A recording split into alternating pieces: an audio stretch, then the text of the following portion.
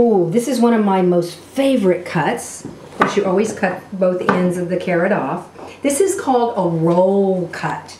This is great for um, stews, mm, uh, roasting vegetables, grilling vegetables. You go on the diagonal where your knife is coming right at the end of the, the carrot that's closest to you on a diagonal and then you come right back up to the top here of this cut.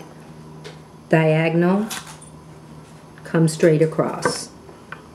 Diagonal, straight across. So look at that. It is so beautiful. And you should be able to turn each of these and they would be able to stand up. And that means that you've, you know, made a nice roll cut. Isn't that gorgeous? I love these. Okay, then there's what's called a half moon and a quarter moon. And let's see, cut the carrot in half because it's long.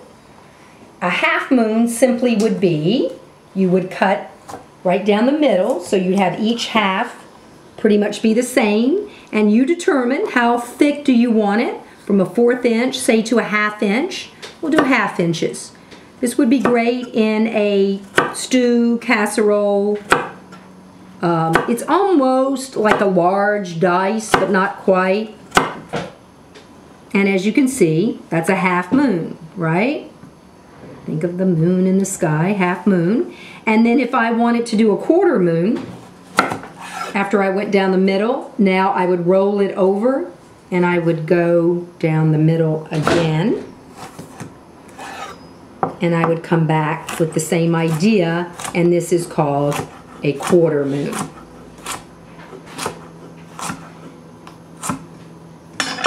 And there you have that. Half quarter, right? Half quarters. You can see that. It's perfect. Oop, that's a half. And there's a quarter.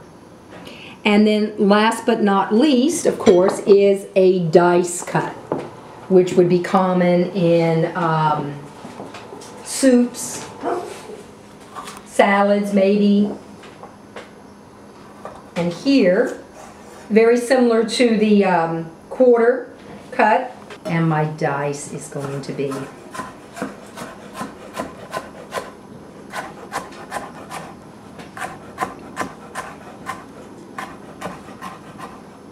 Now, we have another cut here. This is a cut. This is very much a thin diagonal cut. It's great for stir frying, sometimes maybe a little thicker. I might do this for a roasted vegetable, but this is a pretty cut as well.